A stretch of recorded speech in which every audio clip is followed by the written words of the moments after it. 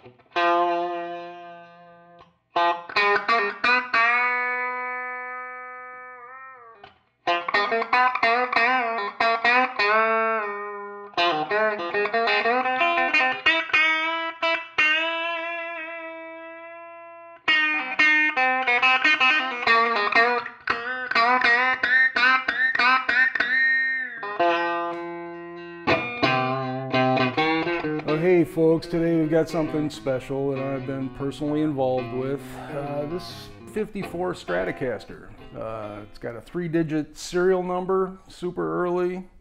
Um, it came in, it had been lightly abused, a lot of refinishing, uh, parts replaced, uh, overspray, the frets were kind of a mess, so it's been completely stripped, refretted, uh, had the original tuners put back on. They took the Schallers off. Uh, I did, excuse me. Um, the pickups, two of the pickups have been rewound, the neck and middle by Stretch in our shop to the original specs. They sound great. It has the original three-way switch, two original volume and tone pots from 1954 and a 66 for the second tone.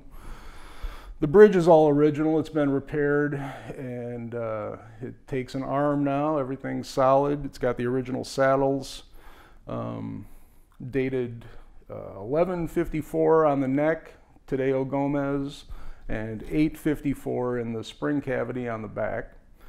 Um, stripped all the old finish off and put a two color sunburst on it and did as little finishing as possible and put it back together with all the original parts plus some that were replaced, and it turned out great. Sounds super good.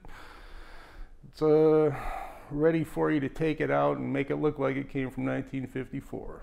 So please come and get it.